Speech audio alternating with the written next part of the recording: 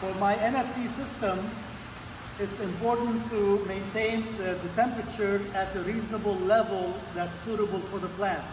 So if you, are, if you have your own hobby greenhouse that is not heated, one way to avoid heating the whole greenhouse is made is buy a, a heat, water heater uh, that uh, that can warm up the water because then if the air is even 65 degree or 60 degrees uh, during the day uh, in, the, in the winter but the temperature is 70 75 the plants will do fine. Uh,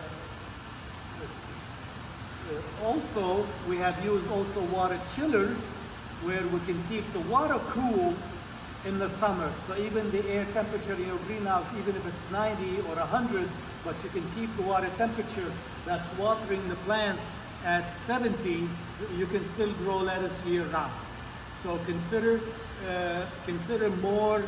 toys, you know, professional toys that can make your uh, operation uh, uh, profitable.